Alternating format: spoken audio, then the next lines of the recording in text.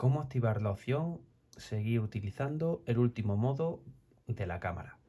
Si queremos que nuestra cámara memorice el último modo que estábamos utilizando, ya sea vídeo o foto, lo que tenemos que hacer es meternos en configuración, arriba a la izquierda, y ahora bajaríamos hasta modos de cámara. Y sería esta opción, la de seguir usando el último modo. Si la activas y ahora te metes aquí, imagínate que estás en vídeo, ¿vale? Y quieres que cuando cierres la cámara y la vuelvas a abrir aparezca el vídeo, luego te metes aquí y ahí está. Si nos lo hacemos con lo mismo con fotos,